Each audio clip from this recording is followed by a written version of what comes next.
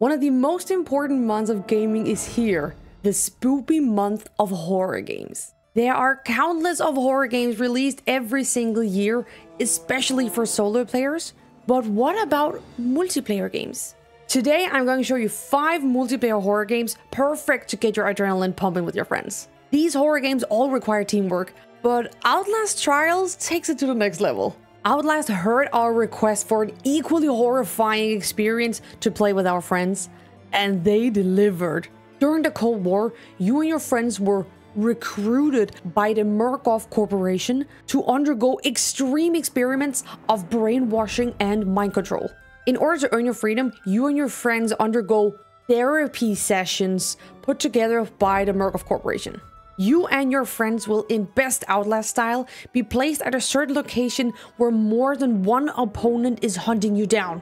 They will test your skills and sanity as you hide, solve puzzles, and fight for survival in grotesque tasks, making you question your own sense of humanity. As you progress through your tasks and complete therapy sessions, you will earn points and currency you can spend on character skills, outfit upgrades, and even interior design for your own cell. But we might as well make it pink and cozy while we're here. If you enjoy the constant thrill of being hunted, our next game Devour is right up your alley. In Devour, you and your friends are set out to hunt down cultists and stop them from awakening the demon goat guard Azazel, who in each map have possessed a being, transforming them into horrible, deformed, yet extremely powerful beings, all with their own set of abilities. To banish Azazel, you must in each map complete a sequence of rituals. These can be burning spider eggs and even burning baby goats. But beware, you are never alone in these maps.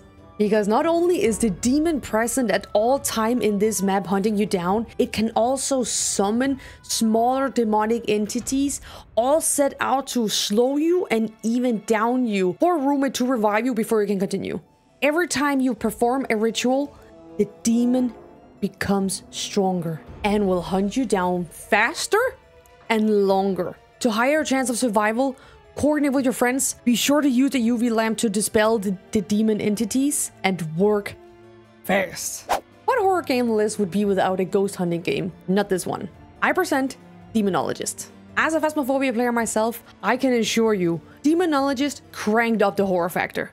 And I'm not talking only hunts, but also creepy events, causing you to hallucinate bloody entities, entire room changes, and spine-chilling vocal interactions from the ghost.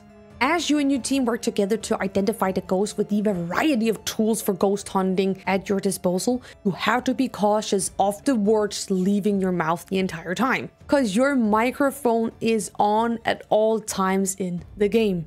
Meaning you can trigger events and unlock new areas by saying certain words in specific locations. And yes, some of them are terrifying. If you manage to survive long enough of the ghost taunts and hunting to actually identify it, you have the option of exorcising the entity, which will give you additional cash. This cash you can spend on unlocking new maps for you to ghost hunt, outfits, tools of course, and even pets that will roam your lobby as you prepare for your next mission. Keep an eye out on the pets though. They tend to get very hungry if you're too slow preparing for your next mission. Next game offers two different game modes. One is the classic story experience, and two is for the hardcore horror enthusiasts, Case Files. In Case Files, your map will change every single time you enter, making it impossible for you to predict how to escape beforehand. In Labyrinthine, communication with your teammates is key. You and your team will spawn in the maze of Happysburg with the quest of figuring out how the F you get out of here. In order for you to survive, you solve puzzles scattered all around the maze all while being the victim of both small and cute scares, but also big blood-calling ones. Remember, you are not alone in this maze. Bloodthirsty enemies of all kinds are lurking and roaming the maze the same time as you.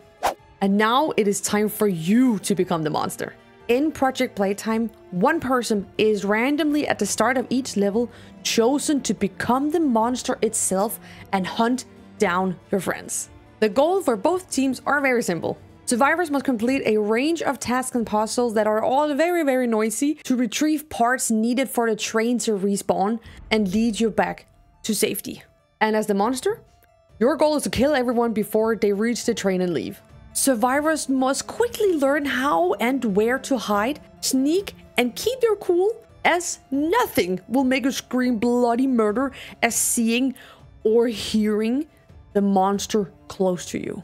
Mommy Longlegs, Huggy Wuggy, Boxy Boo, all of them are guaranteed to make your skin crawl. Which monster will you choose to become?